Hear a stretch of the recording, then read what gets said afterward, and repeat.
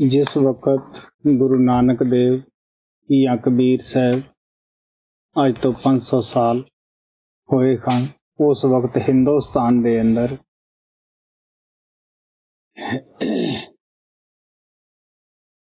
ਕਾਂਸ਼ੀਪੁਰੀ ਹੀ ਇੱਕ ਵਿਦਿਆ ਦਾ ਕੇਂਦਰ ਸੀ। ਸਮਾਜਾਂ ਨੂੰ ਅਲੱਗ-ਅਲੱਗ ਸ਼ੂਦਰ, ਵੈਸ਼,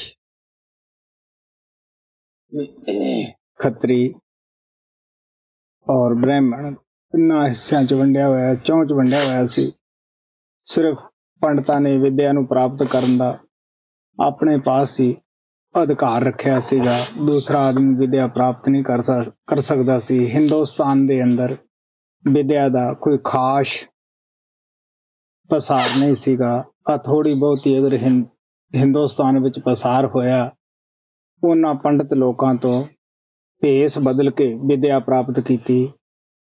ਖਾਸ ਕਰਕੇ ਗੁਰੂ ਗੋਬਿੰਦ ਸਿੰਘ ਨੇ ਕੁਝ ਆਪਦੇ ਸੇਵਕ ਕਾਂਸੀਪੁਰੀ ਚ ਭੇਜੇ ਸੀ, ਭੇਸ ਬਦਲ ਕੇ ਪੰਡਤਾਂ ਜੈਸਾ। ਔਰ ਜਿੱਥੇ ਵਿਦਿਆ ਦਾ ਪਸਾਰ ਹੋਇਆ, ਉਹਨਾਂ ਨੂੰ ਪੜਨ ਤੇ ਹੰਕਾਰ ਸੀਗਾ। ਔਰ ਜਦ ਗੁਰੂ ਨਾਨਕ ਦੇ ਨਾਲ ਇੱਕ ਪੰਡਤ ਦੀ ਵਾਰਤਾ ਹੋਈ, ਉਹ ਇਹ ਕਹਿੰਦਾ ਸੀਗਾ ਕਿ ਮੁਕਤੀ ਪੜਨ ਵਿੱਚ ਹੈ, ਲੇਕਿਨ ਗੁਰੂ ਨਾਨਕ ਦੇਵ ਜੀ ਮਹਾਰਾਜ ਉਸ ਨੂੰ ਆਪਣਾ ਤਜਰਬਾ ਦੱਸਦੇ ਸਨ ਔਰ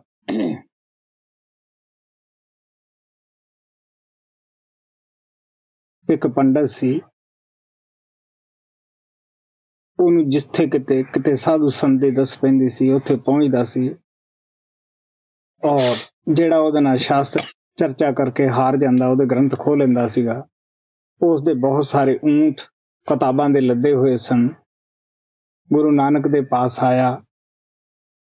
ਬਹੁਤ ਸਾਰੀਆਂ ਗੱਲਾਂ ਕੀਤੀਆਂ। ਗੁਰੂ ਨਾਨਕ ਦੇਵ ਨੇ ਜਦ ਆਪ ਦਾ ਤਜਰਬਾ ਉਸ ਨੂੰ ਦੱਸਿਆ ਕਿ ਮੁਕਤੀ ਨਾਮ ਵਿੱਚ ਹੈ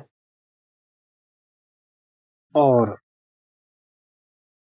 ਉਹ ਉਪਦੇਸ਼ ਲੈਣ ਨੂੰ ਤਿਆਰ ਹੋਇਆ, ਗੁਰੂ ਨਾਨਕ ਨੇ ਸੋਚਿਆ ਕਿ ਇਲਾਜ ਕਰਨ ਤੋਂ ਪਹਿਲਾਂ ਪੇਟ ਸਾਫ਼ ਕਰ ਲੈਣਾ ਜ਼ਰੂਰੀ ਹੈ। ਉਹਨੂੰ ਕਹਿਣ ਲੱਗੇ ਕਿ ਤੇਰਾ ਗੁਰੂ ਅੱਗੇ ਤਾਰਿਆ ਹੋਇਆ ਹੈ, ਜਿਸ ਦੀ ਤੂੰ ਪੂਜਾ ਕਰਦਾ ਹੈ।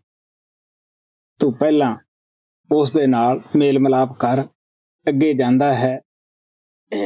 ਬਰਮਾ, ਵਿਸ਼ਨੂੰ, ਸ਼ਿਵ ਸਵਰਗਾਂ ਦਾ ਰਾਜਾ ਇੰਦਰ ਮਹਾਤਮਾ ਦਾ ਰੂਪ ਧਾਰ ਕੇ ਬੈਠੇ ਸਨ।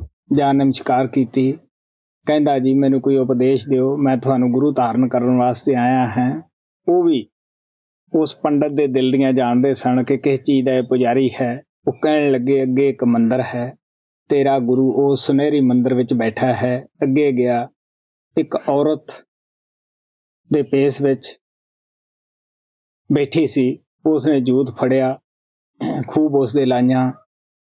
ਪੰਡਤ ਉਸ ਦੇ ਅੱਗੇ ਕੋਈ ਹੱਥ ਨਾ ਚੁੱਕ ਸਕਿਆ। ਆਖਰ ਵਾਪਸ ਆਇਆ। ਉਹ ਚਾਰੇ ਮਹਾਤਮਾ ਕਹਿਣ ਲੱਗੇ, ਦੇਖ ਵੀ ਪਿਆਰਿਆ, ਤੂੰ ਐਡੀ ਜਲਦੀ ਕਿਉਂ ਆਇਆ ਹੈ? ਤੂੰ ਉਪਦੇਸ਼ ਨਹੀਂ ਗੁਰੂ ਤੋਂ ਲੈ ਕੇ ਆਇਆ। ਕਹਿਣ ਲੱਗਾ, ਜੀ, ਮੈਂ ਕੀ ਦੱਸਾਂ? ਉੱਥੇ ਇੱਕ ਬੜੇ ਹੀ ਕਰੜੇ ਸੁਭਾਅ ਵਾਲੀ ਔਰਤ ਸੀ ਜਿਸ ਨੇ ਮੇਰੇ ਨਾਲ ਕੋਈ ਗੱਲ ਤੱਕ ਨਹੀਂ ਕੀਤੀ ਪਰ ਕੁੱਟਿਆ ਬਹੁਤ ਉਹ ਕਹਿਣ ਲੱਗੇ ਕਿ ਤੂੰ ਪੜਿਆ ਤਾਂ ਠੀਕ ਬਹੁਤ ਹੈ ਪਰ ਅਸਲੀ ਗੁਰੂ ਤੇਰਾ ਉਹ ਮਾਇਆ ਹੀ ਹੈ ਔਰ ਪੜ ਪੜਾਈ ਕਰਕੇ ਤੂੰ ਮਾਇਆ ਦਾ ਪੁਜਾਰੀ ਹੈ ਅਗਰ ਤੂੰ ਤਰਨਾ ਹੈ तो ਜਿਸ ਨਾਨਕ ਦੇ ਨਾਲ ਤੂੰ ਮੈਂ ਵਾਸਾ ਕਰਦਾ ਹੈ, ਉਸ ਤੋਂ ਨਾਮ ਲੈ। ਆਖਰ ਵਾਪਸ ਆ ਕੇ ਗੁਰੂ ਨਾਨਕ ਦੇ ਅੱਗੇ ਧੌਣ ਨੀਵੀਂ ਕਰ ਦਿੱਤੀ। ਕਹਿਣ ਲੱਗਿਆ, ਜੀ, ਜੋ ਉਪਦੇਸ਼ ਦੇਵੋਗੇ ਮੈਂ ਸ਼ਰਧਾ ਨਾਲ ਉਸ ਤੇ ਚੱਲੂੰਗਾ।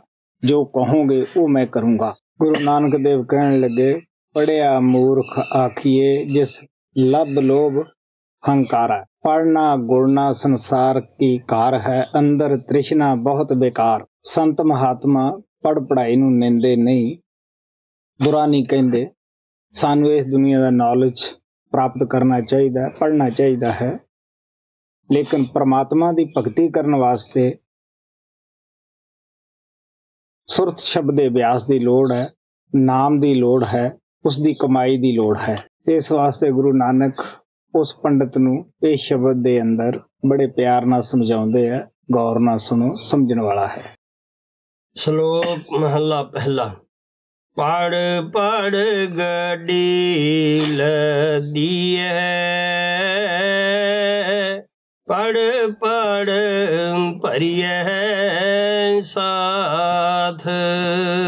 ਗੁਰੂ ਨਾਨਕ ਕਹਿੰਦੇ ਆ ਚਾਹੇ ਪੜ ਪੜ ਕੇ ਤੁਸੀਂ ਟ੍ਰੇਨਾਂ ਲਾਦੇ ਹੋ ਗੱਡੀਆਂ ਲਾਦੇ ਹੋ ਚਾਹੇ ਹੋਰ ਵੀ ਪੜ ਕੇ ਸਾਥ, ਉਠਾਂ ਨੂੰ ਵੀ ਲੱਦ ਲਓ। ਫੜ ਪੜ ਗੱਡੀ ਲਦੀਏ ਪੜ ਪੜ ਭਰੀਏ ਸਾਥ।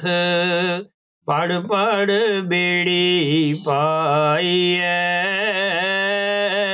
ਪੜ ਪੜ ਗੱਡੀਏ ਖਾਤ।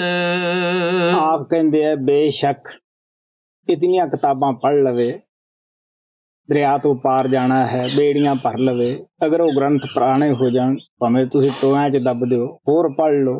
ਪੜ ਪੜ ਬੇੜੀ ਪਾਈਐ, ਪੜ ਪੜ ਗੜੀਐ ਖਾਤ, ਪੜੀਐ ਜੀਤੇ ਬਰਸ ਬਰਸ। ਪੜੀਐ ਜੀਤੇ ਮਾਸ। ਚਾਹੇ ਜ਼ਿੰਦਗੀ ਦੇ ਸਾਰੇ ਵਰੇ ਪੜਦੇ ਰਹੀਏ ਜਿੰਨੇ ਵਰੇ ਅਸੀਂ ਸਾਲ ਜਿਉਣਾ ਹੈ ਚਾਹੇ ਜਿਤਨੇ ਵੀ ਉਹਨਾਂ ਸਾਲਾਂ ਦੇ ਮਹੀਨੇ ਹਨ ਉਹਨਾਂ ਦੇ ਉਹਨਾਂ ਦੇ ਵਿੱਚ ਵੀ ਸਾਰਿਆਂ 'ਚ ਪੜਦੇ ਰਹੀਏ। ਪੜੀਐ ਜੀਤੇ ਬਰਸ ਬਰਸ ਪੜੀਐ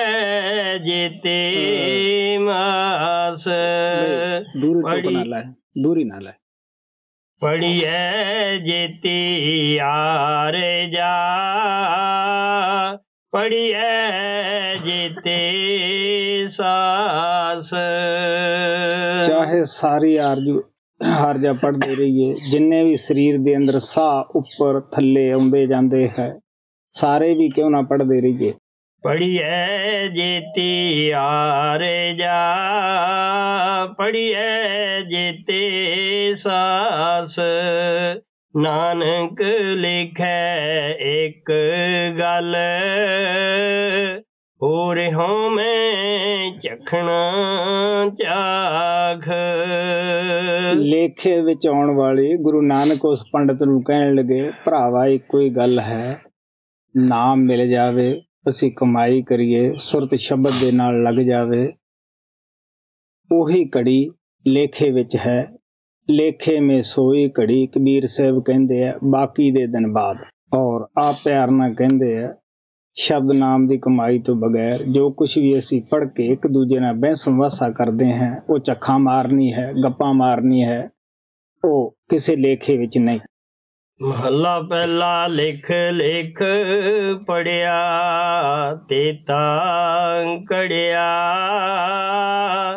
ਬਹੁ ਤੀਰਥ ਭਵਿਆ ਤੇ ਤੋ ਲਵਿਆ ਇਹ ਖੁਦ ਸਾਡੇ ਆਪਣੇ ਜ਼ਿੰਦਗੀ ਦੇ ਦੇਖਣ ਦਾ ਹੈ ਕਿ ਹਿੰਦੁਸਤਾਨ ਦੇ ਅੰਦਰ ਬਹੁਤ ਸਾਰੇ ਲੋਕ, ਬਹੁਤ ਸਾਰੇ ਭੇਖ ਬਣੇ ਸਨ। ਅੱਜ ਵੀ ਹੈ। ਲੇਕਿਨ ਉਤਨਾ ਹੜ ਅੱਜ ਨਹੀਂ, ਜਿਤਨਾ ਕਿ ਉਦੋਂ ਸੀ। ਆਮ ਤੌਰ ਦੇ ਉੱਤੇ ਉਹਨਾਂ ਲੋਕਾਂ ਦਾ ਕੰਮ ਤੀਰਥਾਂ ਤੇ ਇਸ਼ਨਾਨ ਕਰਨਾ ਪੜ ਕੇ ਬਹਿਸ ਵਾਸੇ ਕਰਨੇ, ਔਰ ਉਤਨਾ ਹੀ ਅੰਦਰ ਜਾਦੇ ਗੁਰੂ ਨਾਨਕ ਕਹਿੰਦੇ, ਕੁੜਦਾ ਹੈ, ਸੰਸਾ ਕਰਦਾ ਹੈ, ਹਿੰਦੁਸਤਾਨ ਦੇ ਅੰਦਰ ਬਹੁਤ ਤੀਰਥ ਹੈ। ਬਹੁਤ ਸਾਰੇ ਲੋਕਾਂ ਦਾ ਰੁਜ਼ਗਾਰ ਹੀ ਹੈ ਕਿ ਅੱਜ ਇਸ ਤੀਰਥ ਤੇ ਹੈ। 10 ਦਿਨ ਇੱਥੇ ਲਾਏ 10 ਦਿਨ ਕਿਸੇ ਹੋਰ ਤੀਰਥ ਤੇ ਲਾਏ, ਜੋ ਯਾਤਰੂ ਜਾਂਦੇ ਹੈ, ਉਹਨਾਂ ਤੋਂ ਮੰਗ ਕੇ ਆਪਣਾ ਗੁਜ਼ਾਰਾ ਕਰਦੇ ਆ ਕਿਸੇ ਤੋਂ ਕਪੜਾ ਮੰਗਿਆ ਕਿਸੇ ਤੋਂ ਗੁਟਕਾ ਮੰਗਿਆ, ਉਹ ਵੇਚ ਦੇਣਾ।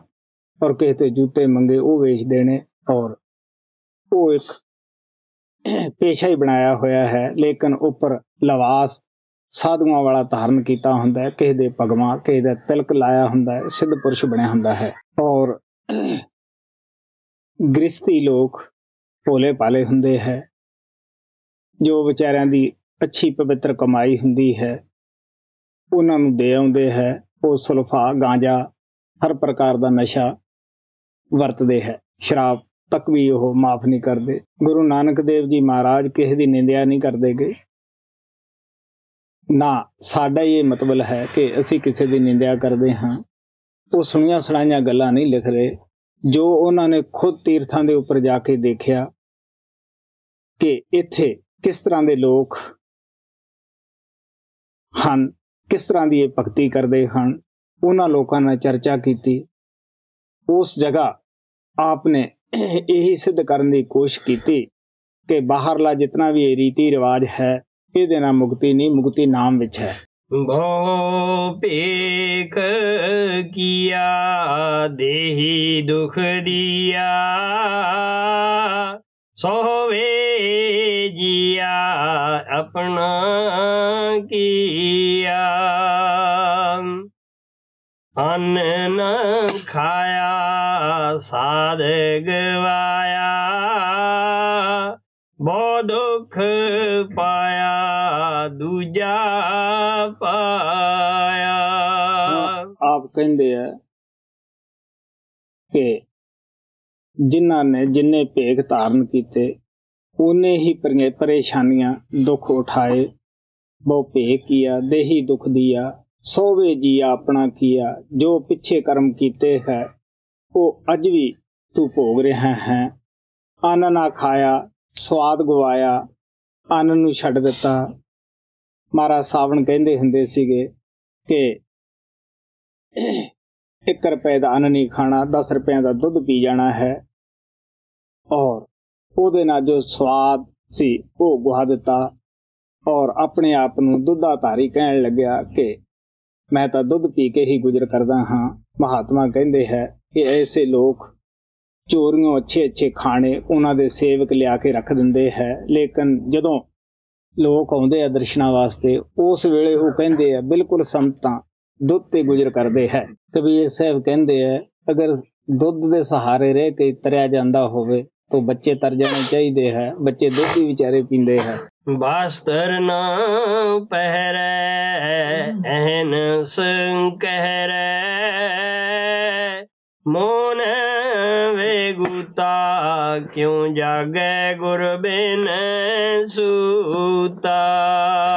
ਇੱਕ ਸਾਧੂ ਐਸੇ ਵੀ ਹੁੰਦੇ ਹੈ ਕਿ ਜਿਹੜੇ ਬਿਲਕੁਲ ਬਸਤਰ ਨਹੀਂ ਪਹਿਨਦੇਗੇ ਜਿਸ ਤਰ੍ਹਾਂ ਡੰਗਰ ਦੇ ਕੋਈ ਬਸਤਰ ਨਹੀਂ ਹੁੰਦਾਗਾ, ਆਮ ਹੀ ਨੰਗਾ ਫਿਰਦਾ ਹੁੰਦਾ ਹੈ, ਉਹ ਵੀ ਇਸੇ ਤਰ੍ਹਾਂ ਹੀ ਹੈ। ਸਰਦੀ 'ਚ ਵੀ ਉਹ ਪਰੇਸ਼ਾਨ ਹੈ, ਦੁਖੀ ਹੈ। ਗਰਮੀ 'ਚ ਵੀ ਉਹ ਦੁਖੀ ਹੈ, ਕਿਉਂਕਿ ਥੱਲੇ ਗਰਮ ਰੇਤਾ ਤਪਦਾ ਹੈ। ਔਰ ਰਾਤ ਨੂੰ ਵੀ ਬਾਹਰ ਰਹਿਣਾ, ਦਿਨੇ ਵੀ ਬਾਹਰ ਰਹਿਣਾ। ਔਰ ਇੱਕ ਇਸ ਕਿਸਮ ਦੇ ਵੀ ਸਾਧੂ ਹੁੰਦੇ ਹੈ ਕਿ ਜਿਹੜੇ ਮੌਨ ਧਾਰ ਲੈਂਦੇ ਹੈ, ਬਿਲਕੁਲ ਜ਼ਬਾਨ ਦੇ ਨਾਲ ਕੋਈ ਬਾਤ ਨਹੀਂ ਕਰਦੇਗੇ ਜਿਸ ਚੀਜ਼ ਦੀ ਜ਼ਰੂਰਤ ਹੁੰਦੀ ਹੈ, ਉਹ ਲਿਖ ਕੇ ਮੰਗ ਲੈਂਦੇ ਹੈ। ਲੇਕਿਨ ਜੋ ਹਿਰਦਾ ਮਨ ਟਿਕਾਉਣਾ ਹੈ, ਦੁਨੀਆ ਦੀ ਤਰਫੋਂ ਪਦਾਰਥਾਂ ਚੋਂ ਕੱਢਣਾ ਹੈ, ਉਸ ਨੂੰ ਉਹ ਕੱਢ ਨਹੀਂ ਸਕਦੇਗੇ ਬਲਕਿ ਮਨ ਅੰਦਰ ਵੱਧ ਤੋਂ ਵੱਧ ਕਲਪਨਾ ਕਰਦਾ ਹੈ। ਗੁਰੂ ਨਾਨਕ ਕਹਿੰਦੇ ਹੈ, ਬਈ ਮੋਨੀ ਹੋਏ ਦਾ ਕੀ ਫਾਇਦਾ ਹੋਇਆ? ਬੋਲ ਕੇ ਨਾ ਮੰਗਿਆ, ਲਿਖ ਕੇ ਮੰਗ ਲਿਆ। ਮੈਂ ਪੰਜਾਬ ਦੇ ਵਿੱਚ ਪਿੰਡ ਦੌਲੇ, ਇੱਕ ਮੋਨੀ ਦੇ ਪਾਸ ਗਿਆ। ਕੋਈ ਸੇਵਾ ਦੀ ਬੇਨਤੀ ਕੀਤੀ। ਜਿਸ ਬੋਰੀ ਤੱਪੜ ਦੇ ਉੱਤੇ ਬੈਠਾ ਸੀਗਾ ਉਹਨੇ ਇੱਕ ਪਾਸਾ ਚੱਕ ਦਿੱਤਾ। ਔਰ ਉਹਦਾ ਚੇਲਾ ਕਹਿਣ ਲੱਗਿਆ, ਸੰਤ ਤਾਂ ਬਿਲਕੁਲ ਤਿਆਗੀ ਹੈ, ਮਾਇਆ ਨੂੰ ਹੱਥ ਨਹੀਂ ਲਾਉਂਦੇ, ਇੱਥੇ ਰੱਖ ਦਿਓ। ਜਿਸ ਚੀਜ਼ ਦੀ ਜ਼ਰੂਰਤ ਹੋਏਗੀ, ਵਰਤ ਲਵੇਗਾ। ਹੁਣ ਤੁਸੀਂ ਸੋਚ ਕੇ ਦੇਖ ਸਕਦੇ ਹੋ ਕਿ ਅਗਰ ਮੂੰਹ ਨਾ ਮੰਗਿਆ ਜਾਵੇ, ਉਹਦਾ ਕੀ ਹਰਜ ਹੈ? ਜਦ ਮੰਗਤੇ ਤਾਂ ਉਹੀ ਰਹੇ, ਅੰਦਰ ਕਾਮ, ਕ੍ਰੋਧ, ਲੋਭ, ਮੋਹ, ਹੰਕਾਰ ਦੇ ਝੌਂਕੇ ਤਾਂ ਉਸੇ ਤਰ੍ਹਾਂ ਉੱਠੀ ਜਾਂਦੇ ਹੈ। ਬਲਕਿ ਵੱਧ ਮਨ ਕਲਪਨਾ ਕਰਦਾ ਹੈ, ਜਿੰਨਾ ਵੀ ਅਸੀਂ ਚੁੱਪ ਕਰਦੇ ਹਾਂ। ਬਾਬਾ ਬਿਸ਼ਨਦਾਸ ਕਹਿੰਦੇ ਹੁੰਦੇ ਸੀਗੇ, ਅਗਰ ਚੁੱਪ ਕਰਨਾ ਪਰਮਾਤਮਾ ਮਿਲਦਾ ਹੋਵੇ, ਤਾਂ ਜਿਹੜੇ ਡੰਗਰ ਹੈ, ਇਹ ਕਿਹੜੀ ਗੁਫ਼ਤਗੂ ਕਰਦੇ ਹੈ? ਇਹਨਾਂ ਨੂੰ ਮਿਲ ਜਾਣਾ ਚਾਹੀਦਾ ਹੈ। ਅਗਉ ਪੇਤਾਣਾ ਆਪਣਾ ਕੀਆ ਕਮਾਣਾ ਅਲਮਲ ਖਾਈ ਸਿਰ ਛਾਈ ਪਾਈ ਮੂਰਖ ਅੰਧੈ ਪਤ ਗਵਾਈ ਵਿਣ ਨਾਵੇ ਕਿਛ ਥਾਇ ਨ ਪਾਈ ਇੱਕ ਇੱਕ ਤੁਕ ਲੈ ਤਾਂ ਵੇਖ ਲਿਆ ਕਰ ਬੋਲ ਪਹਿਲੇ ਪਾਗਿਓ ਪੇ ਤਣ ਆਪਣਾ ਕੀਆ ਕਮਾਣਾ ਅਲਮਲ ਖਾਈ ਸਿਰ ਛਾਈ ਪਾਈ ਹੁਣ ਆਪ ਪਿਆਰ ਦੇ ਨਾਲ ਕਹਿੰਦੇ ਆ ਕਿ ਬਹੁਤ ਸਾਰੇ ਐਸੇ ਵੀ ਪੰਥ ਹੈ ਕਿ ਜਿਹੜੇ ਪੈਰਾਂ ਵਿੱਚ ਜੋੜਾ ਨਹੀਂ ਪਾਉਂਦੇ, ਨੰਗੇ ਪੈਰੀ ਤੁਰਦੇ ਹੈ। ਉਹ ਕਿਸੇ ਟ੍ਰੇਨ ਤੇ ਜਾਂ ਹਵਾਈ ਜਹਾਜ਼ ਤੇ ਨਹੀਂ ਚੜਦੇ ਗਏ ਔਰ ਐਸਾ ਵੀ ਪੰਥ ਚੱਲਿਆ। ਜਿਨ੍ਹਾਂ ਨੂੰ ਘੋਰੀ ਬੋਲਦੇ ਸਨ, ਉਹ ਨਹਾਉਂਦੇ ਨਹੀਂ। ਉਹ ਆਪਣੀ ਹੀ ਮਲ ਖਾ ਜਾਂਦੇ ਹੈ। ਉਹ ਅੱਛੇ ਹਨ ਜਾਂ ਬੁਰੇ ਦੇ ਵਿੱਚ ਕੋਈ ਭੇਦ ਨਹੀਂ ਸਮਝਦੇਗੇ ਲੇਕਿਨ ਲੋਕ ਉਹਨਾਂ ਦੀ ਸਿਆਣੇ ਪੁਰਸ਼ ਆਲੋਚਨਾ ਵੀ ਕਰਦੇ ਹੈ ਕਿ ਇਹ ਮੂਰਖ ਹੈ, ਇਹ ਬੇਵਕੂਫ ਹੈ। ਇਸ ਤਰ੍ਹਾਂ ਭਗਤੀ ਰੱਬ ਦੀ ਕਿਸ ਤਰ੍ਹਾਂ ਹੋ ਸਕਦੀ ਹੈ? ਕਬੀਰ ਸਾਹਿਬ ਦੇ ਪਾਸ ਇੱਕ ਐਸਾ ਆਦਮੀ ਆਇਆ ਜਿਹੜਾ 12 ਸਾਲ ਉਹਨੂੰ ਹੋ ਗਏ ਸੀ ਜੋੜਾ ਛੱਡੇ ਨੂੰ, ਕੱਪੜੇ ਵਗੈਰਾ ਛੱਡੇ ਨੂੰ। ਉਹ ਆ ਕੇ ਕਹਿਣ ਲੱਗਿਆ, ਦੇਖ, ਮੈਂ ਇੰਨੀ ਕੁਰਬਾਨੀ ਕਰੀ ਹੈ। ਕਬੀਰ ਸਾਹਿਬ ਕਹਿਣ ਲੱਗੇ, ਦੇਖ ਵੀ ਪਿਆਰਿਆ, ਨਗਨ ਫਿਰਤ ਜੇ ਪਾਈਐ ਜੋਗ, ਬਨ ਕੈ ਮਿਰਗ ਮੁਕਤ ਸਭ ਹੋਗ, ਕਿਆ ਨਾਂਗੇ, ਕਿਆ ਬਾਧੇ ਚਾਮ। ਜਬ ਨਹੀਂ ਚੀਨਸ ਆਤਮ ਰਾਮ, ਜਿੰਨਾ ਚਿਰ ਤੁਸੀਂ ਆਪਦੀ ਆਤਮਾ ਨੂੰ ਸ਼ਬਦ ਨਾਮ ਦੇ ਨਾਲ ਨਹੀਂ ਮਿਲਾਉਂਦੇਗੇ, ਚਾਹੇ ਨੰਗੇ ਪੈਰਾਂ ਤੇ ਫਿਰਦੇ ਰਹੋ, ਚਾਹੇ ਚੰਮ ਦੇ ਨਾਲ, ਸਾਰੇ ਹੀ ਤੁਸੀਂ ਅੱਛੀ ਤਰ੍ਹਾਂ ਮੜ ਲਓ, ਇਹਦੇ ਨਾਲ ਕੋਈ ਫ਼ਰਕ ਨਹੀਂ ਪੈਂਦਾਗਾ। ਮੂਰਖ ਅੰਧੈ ਪਤ ਗਵਾਈ ਵਿਣ ਨਾਵੇ ਕਿਛ ਥਾਏ ਨ ਪਾਈ। ਨਾਮ ਤੋਂ ਬਗੈਰ ਕੋਈ ਟਿਕਾਣਾ ਨਹੀਂ ਨਾਮ ਤੋਂ ਬਗੈਰ ਮੁਕਤੀ ਨਹੀਂ ਔਰ ਨਾਮ ਤੋਂ ਬਗੈਰ ਅਸੀਂ ਆਪਦੇ ਇਨਸਾਨੀ ਜਾਮੇ ਨੂੰ ਪਵਿੱਤਰ ਨਹੀਂ ਕਰ ਸਕਦੇ ਔਰ ਇਸ ਦੇ ਵਿੱਚ ਬੈਠ ਕੇ ਅਸੀਂ ਮੁਕਤੀ ਪ੍ਰਾਪਤ ਨਹੀਂ ਕਰ ਸਕਦੇ। ਰਹਿ ਬੇਵਾਣੀ ਮੜੀ ਮਸਾਣੀ ਜਾਣੇ ਫਿਰ ਪਛਤਾਣੀ ਐਸੇ ਵੀ ਪੰਥ ਹਨ ਜੋ ਘਰਾਂ ਦੇ ਅੰਦਰ ਨਹੀਂ ਰਹਿੰਦੇਗੇ ਬਾਹਰ ਕਬਰਾਂ ਮੜੀਆਂ ਦੇ ਵਿੱਚ ਰਹਿੰਦੇ ਹਨ। ਲੋਕ ਉਹਨਾਂ ਨੂੰ ਵੀ ਅੱਛੀ ਤਰ੍ਹਾਂ ਪੂਜਦੇ ਹੈ ਕਿ ਬਾਬਾ ਭੂਤਾਂ ਤੋਂ ਨਹੀਂ ਡਰਦਾਗਾ ਔਰ ਲੇਕਿਨ ਨਾਮ ਵਾਲੇ ਪਾਸੇ ਉਹ ਵੀ ਨਹੀਂ ਜਾਂਦੇ ਗਏ। ਆਖਰ ਦੇ ਵਕਤ ਉਹਨਾਂ ਨੂੰ ਵੀ ਪਛਤਾਉਣਾ ਪੈਂਦਾ ਹੈ। ਬਾਬਾ ਬਿਸ਼ਨ ਦਾਸ ਜਿਸ ਜਗ੍ਹਾ ਰਹਿੰਦੇ ਸਨ, ਉਹਦੇ ਨਜ਼ਦੀਕ ਹੀ ਉਸ ਗਾਂਵ ਵਾਲਿਆਂ ਦੇ ਕਬਰਾਂ ਸਨ। ਉਹ ਉੱਥੇ ਆ ਕੇ ਬੈਠਿਆ। ਲੋਕ ਕਾਫੀ ਉਹਨੂੰ ਪੂਜਣ ਲੱਗੇ। ਬਾਬਾ ਬਿਸ਼ਨ ਦਾਸ ਕਹਿਣ ਲੱਗਿਆ, ਅਗਰ ਬਈ ਜੇ ਤੇਰੇ ਵਿੱਚ ਕੋਈ ਕਰਾਮਾਤ ਹੈ, ਤੂੰ ਜਿਉਂਦੇ ਬੰਦਿਆਂ 'ਚ ਰਹਿ ਨਾ ਤੈਨੂੰ ਹੁਣ ਪਤਾ ਹੈ ਵੀ ਮਰੇ ਤਾਂ ਹੁਣ ਕਬਰਾਂ 'ਚ ਬੋਲਦੇ ਨਹੀਂਗੇ ਇਸ ਵਾਸਤੇ ਤੂੰ ਬੈਠਾ ਹੈ ਕਿ ਮੇਰੇ ਨਾਲ ਕੋਈ ਗਿਆਨ ਗੋਸ਼ ਨਾ ਕਰ ਲਵੇ ਤੋ। ਲੇਕਿਨ ਅਸੀਂ ਜਿਹੜੇ ਗ੍ਰਸਤੀ ਲੋਕ ਹੁੰਨੇ ਆ, ਸਾਨੂੰ ਪਤਾ ਨਹੀਂ ਹੁੰਦਾਗਾ।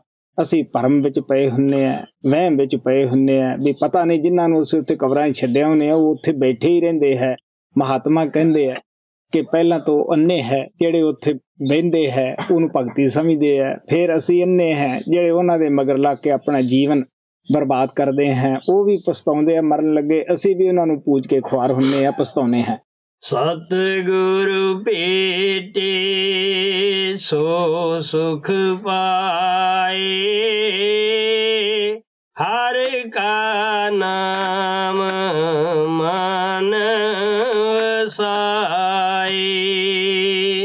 ਆਪ ਕਹਿੰਦੇ ਆ ਅਗਰ ਕੋਈ ਪੂਰਾ ਗੁਰੂ ਮਿਲ ਜਾਵੇ, ਉਹ ਕਿਰਪਾ ਕਰ ਦੇਵੇ। ਸਾਡੇ ਅੰਦਰ ਨਾਮ ਟਕਾ ਦੇਵੇ, ਵਸਾ ਦੇਵੇ, ਨਾਮ ਘਰ ਕਰ ਲਵੇ। ਔਰ ਸਾਡੇ ਅੰਦਰ ਜਿਤਨੇ ਵੀ ਬੁਰੇ ਕਰਮ ਹੈ, ਜਿਹੜੇ ਅਸੀਂ ਲੋਕਾਂ ਦੀ ਆਸ ਰੱਖਦੇ ਹਾਂ, ਉਸ ਪਰਮਾਤਮਾ ਕਰਨ ਕਾਰਨ ਪ੍ਰਭੂ ਨੂੰ ਭੁੱਲੇ ਬੈਠੇ ਹਾਂ।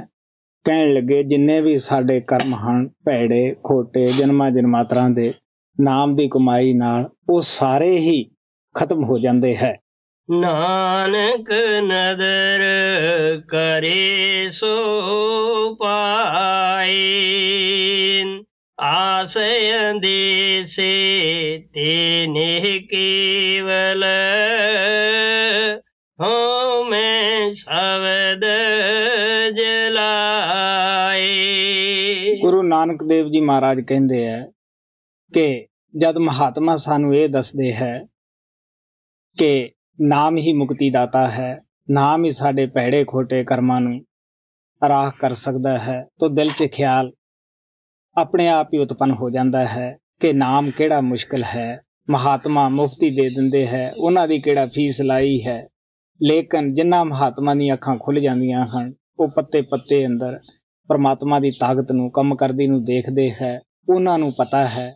ਉਹ ਕਹਿੰਦੇ ਹੈ, ਨਹੀਂ ਪਿਆਰਿਓ, ਆਪਣੇ ਵਸ ਵਿੱਚ ਨਹੀਂ ਨਾਮ ਨੂੰ ਪ੍ਰਾਪਤ ਕਰਨਾ। ਨਾ ਸਾਡੇ ਇਹ ਵਸ ਹੈ ਕਿ ਅਸੀਂ ਨਹੀਂ ਕਰਨਾਗਾ।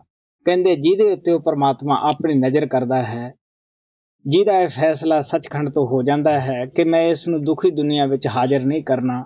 ਸਿਰਫ ਉਹੋ ਹੀ ਗੁਰੂ ਦੀ ਸੰਗਤ ਵਿੱਚ ਆਉਂਦੇ ਆ ਉਹੀ ਨਾਮਦਾਨ ਪ੍ਰਾਪਤ ਕਰਦੇ ਆ ਉਹੀ ਲੋਕ ਆਪਣੇ ਦਿਲ ਵਿੱਚ ਉਤਸ਼ਾਹ ਪੈਦਾ ਕਰਕੇ ਇਸੇ ਹੀ ਜਨਮ ਵਿੱਚ ਆਪਣਾ ਕੰਮ ਬਣਾ ਲੈਂਦੇ ਹੈ। ਗੁਰੂ ਨਾਨਕ ਨੇ ਕਿਹਾ ਕਿ ਸੁੱਖ ਤਾਂ ਸਾਰੀ ਦੁਨੀਆ ਮੰਗਦੀ ਹੈ, ਦੁੱਖ ਤਾਂ ਕੋਈ ਨਹੀਂ ਮੰਗਦਾਗਾ, ਲੇਕਿਨ ਉਹ ਵੀ ਪਰਮਾਤਮਾ ਭੁਗਤਾਨ ਕਰ ਰਿਹਾ ਹੈ। ਜਿਸ ਤਰ੍ਹਾਂ ਅਸੀਂ ਇਹ ਚੀਜ਼ਾਂ ਦੇਖਦੇ ਹਾਂ ਕਿ ਵਕਤ ਤੇ ਸੂਰਜ ਰੋਸ਼ਨੀ ਦਿੰਦਾ ਹੈ, ਵਕਤ ਤੇ ਚੰ드ਰਮਾ ਆਪਣਾ ਪ੍ਰਕਾਸ਼ ਦਿੰਦਾ ਹੈ, ਤਾਰੇ ਵਗੈਰਾ ਸਫ਼ਰ ਕਰ ਰਹੇ ਹਨ ਔਰ ਇਸੇ ਤਰ੍ਹਾਂ ਮੌਤ ਪਦਾਇਸ਼ ਵਕਤ ਤੇ ਹੋ ਰਹੀ ਹੈ। ਅਗਰ ਇਹਨਾਂ ਚੀਜ਼ਾਂ ਨੂੰ ਅਸੀਂ ਸਹੀ ਦੇਖ ਵੀ ਰਹੇ ਹਾਂ ਬਾਹਰੀ ਤੌਰ ਦੇ ਉੱਤੇ, ਤੋ ਜੋ ਮਹਾਤਮਾ ਸਾਨੂੰ ਕਹਿੰਦੇ ਆ ਕਿ ਨਾਮ ਦਾ ਵੀ ਜੋ ਦੇਣਾ ਹੈ ਜਾਂ ਪ੍ਰਾਪਤ ਕਰਨਾ ਹੈ ਸਸੰਗ ਦੇ ਅੰਦਰ ਆਉਣਾ ਵੀ ਪ੍ਰਮਾਤਮਾ ਨੇ ਆਪਣੇ ਹੱਥ ਵਿੱਚ ਰੱਖਿਆ ਹੋਇਆ ਹੈ, ਕਿਸ ਜੀਵ ਦਾ ਕਿਹੜਾ ਟਾਈਮ ਹੈ। ਕੋੜੀ ਭਗਤ ਤੇਰੇ ਮਨ ਪਾਵੰਦੇ ਦਰ ਸੋਹਣ ਕੀਰਤ ਗਾਉਂਦੇ। ਹੁਣ ਆਪ ਦੱਸਦੇ ਹੈ ਉਸ ਪਰਮਾਤਮਾ ਦੇ ਅੱਗੇ ਬੇਨਤੀ ਕਰਦੇ ਹੈ ਕਿ ਬੇਸ਼ੱਕ ਮਨਮੁਖ ਵੀ ਉਸ ਪਰਮਾਤਮਾ ਦੇ ਬੱਚੇ ਹਨ ਉਹਨਾਂ ਅੰਦਰ ਵੀ ਉਹ ਬਿਰਾਜਮਾਨ ਹੈ। ਲੇਕਿਨ ਪਰਮਾਤਮਾ ਦੇ ਦਰ ਦੇ ਉੱਤੇ ਕੌਣ ਸ਼ੋਭਾ ਪਾਉਂਦਾ ਹੈ, ਕੌਣ ਉਸ ਨੂੰ ਪਿਆਰੇ ਲੱਗਦੇ ਹੈ, ਕਿੰਨਾਂ ਨੂੰ ਆਪਦੇ ਅੰਦਰ ਜਗ੍ਹਾ ਦਿੰਦਾ ਹੈ? ਕਹਿੰਦੇ, ਭਗਤ ਤੇਰੇ ਮਨ ਭਾਮਦੇ ਦਰ ਸੋਹੇ ਨਕੀਰਤ ਗਾਮ ਦੇ ਉਹ ਉਹਦੇ ਦਰ ਦੇ ਉੱਤੇ ਸ਼ੋਭਾ ਪਾਉਂਦੇ ਆ ਉਹ ਖੁਦ ਉਸ ਪਰਮਾਤਮਾ ਦੀ ਭਗਤੀ ਦੇ ਗੀਤ ਗਾਉਂਦੇ ਹੈ, ਜਿਹਦੇ ਨਾਲ ਉਹਨਾਂ ਦਾ ਮਲਾਪ ਹੁੰਦਾ ਹੈ। ਉਹਨਾਂ ਦੇ ਅੰਦਰ ਵੀ ਪਰਮਾਤਮਾ ਦੇ ਪਿਆਰੇ ਭਗਤੀ ਕਰਨ ਦਾ ਸ਼ੌਕ, ਬਿਰੇ, ਤੜਪ ਪੈਦਾ ਕਰ ਦਿੰਦੇ ਹੈ। ਪਰਮ ਪਿਤਾ ਕਿਰਪਾਲ ਕਹਿੰਦੇ ਹੁੰਦੇ ਸਨ ਕਿ ਪਰਮਾਰਥ ਵੀ ਇੱਕ ਸ਼ੂਦਾਰ ਬਿਮਾਰੀ ਹੈ, ਜਿਸ ਤਰ੍ਹਾਂ ਇੱਕ ਦੇ ਖੁਰਕ ਪਈ ਹੁੰਦੀ ਹੈ, ਉਹ ਹੋਰਨਾਂ ਨੂੰ ਖੁਰਕਣ ਲਾ ਦਿੰਦਾ ਹੈ। ਇੱਕ ਭਗਤ ਆਉਂਦਾ ਹੈ, ਉਹ ਖੁਦ ਵੀ ਭਗਤੀ ਕਰਦਾ ਹੈ। ਸਾਡੇ ਅੰਦਰ ਵੀ ਭਗਤੀ ਦੀ ਖੁਰਕ ਪੈਦਾ ਕਰ ਕਰ ਜਾਂਦਾ ਹੈ, ਅਸੀਂ ਵੀ ਭਗਤੀ ਕਰਨ ਲੱਗ ਜਾਂਦੇ ਹਾਂ। ਨਾਨਕ ਕਰਮ ਬਾਹਰੇ, ਦਰ ਟੋ ਨ ਲੈਣੀ ਹੁਣ ਆਪ ਕਹਿੰਦੇ ਆ ਕਿ ਨਾਮ ਦਾ ਮਿਲਣਾ ਬਹੁਤ ਜਨਮਾਂ ਦੇ ਕਰਮਾਂ ਦਾ ਇਨਾਮ ਹੈ, ਲੇਕਿਨ ਜਿਨ੍ਹਾਂ ਦਾ ਅਜੇ ਕਰਮ ਬਣਿਆ ਨਹੀਂ, ਉਹ ਅਕਸ਼ਰ ਪਰਮਾਤਮਾ ਨੇ ਅਜੇ ਪਾਇਆ ਨਹੀਂਗਾ। ਆਪਦੇ ਮਲਾਪ ਦਾ ਕਹਿਣ ਲੱਗੇ, ਉਹ ਉਹਦੇ ਦਰ ਤੇ ਪਹੁੰਚ ਨਹੀਂ ਸਕਦੇਗੇ ਔਰ ਉਹਦੀ ਉਹ ਭਗਤੀ ਨਹੀਂ ਕਰ ਸਕਦੇ। ਇਕ ਮੂਲ ਨਾ 부ਜਨ ਆਪਣਾ ਅਣ ਹੁੰਦਾ ਆਪ ਗਣਾਇਂਦੇ ਇੱਕ ਐਸੇ ਵੀ ਸੰਸਾਰ ਵਿੱਚ ਆਉਂਦੇ ਹਨ ਜਿਨ੍ਹਾਂ ਨੂੰ ਇਹ ਪਤਾ ਨਹੀਂ ਕਿ ਅਸੀਂ ਕਿੱਥੋਂ ਪੈਦਾ ਹੋਏ ਕਿਉਂ ਸੰਸਾਰ ਵਿੱਚ ਆਏ? ਇਦੋਂ ਪਹਿਲਾਂ ਅਸੀਂ ਕਿੱਥੇ ਸੀ? ਕਹਾਂ ਕਿੱਥੇ ਜਾਣਾ ਹੈ? ਔਰ ਅਣ ਹੁੰਦਾ ਹੀ ਉਹ ਆਪਣੇ ਆਪ ਨੂੰ ਜਿਤਾਉਂਦੇ ਹੈ ਕਿ ਅਸੀਂ ਸਭ ਕੁਝ ਜਾਣਦੇ ਹਾਂ, ਸਾਨੂੰ ਪਤਾ ਹੈ। ਉਹ ਮਾਲਕ ਦੇ ਪਿਆਰਿਆਂ ਦੇ ਉਪਦੇਸ਼ ਨੂੰ ਗ੍ਰਹਿਣ ਨਹੀਂ ਕਰਦੇਗੇ ਉਹ ਕਹਿੰਦੇ ਅਸੀਂ ਸਭ ਕੁਝ ਜਾਣਦੇ ਹੀ ਹਾਂ, ਜੋ ਕੁਝ ਹੈ। ਹੋਂਟਾੜੀ ਕਾ ਨੀਚ ਜਾਤ, ਹੋਰ ਜਾਤ ਸਦਾਇਂਦੇ।